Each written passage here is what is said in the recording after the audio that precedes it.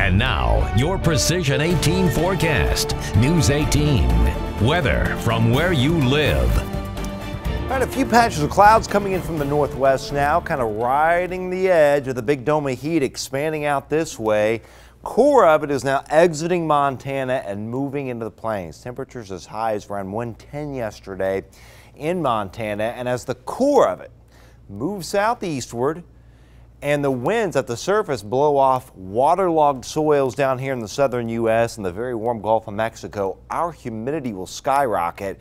And when you combine, the heat of the upper ridge with the moisture, we've got dangerous heat indices coming in late weekend and early next week. Also, the smoke, it'll thicken up a lot tomorrow. Tomorrow, very dim sun a good chunk of Thursday, very dim sun as well, and the amount of real estate covered in dense smoke, very impressive for the U.S. and even in areas that haven't had a lot of dense smoke lately, like parts of the South, will get very smoky by the end of the week. And there it is coming in. This is this evening coming in from the north, the really dense smoke and really dense smoke through tomorrow afternoon, thins a hair and then thickens back up just in time for Thursday. 18 Precision Cast shows the big hot ridge here right on its periphery. There'll be a complex of storms in this area.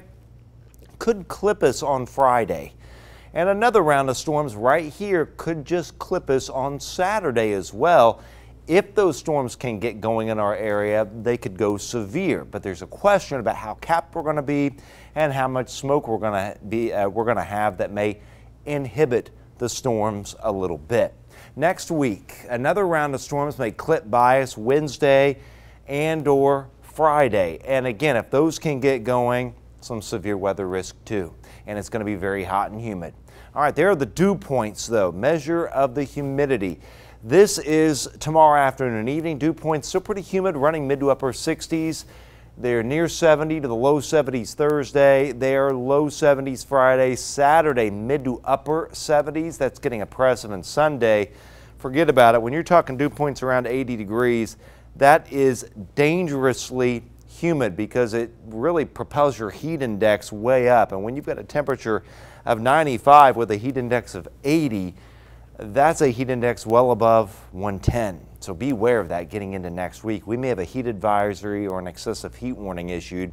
85 tomorrow, feeling like 90. Light northeast wind with smoky sun after a little patchy fog in the morning. And finally, a few patches of fog early on Thursday morning. Otherwise, a high of 90, going to feel like 94. Not much wind in the afternoon.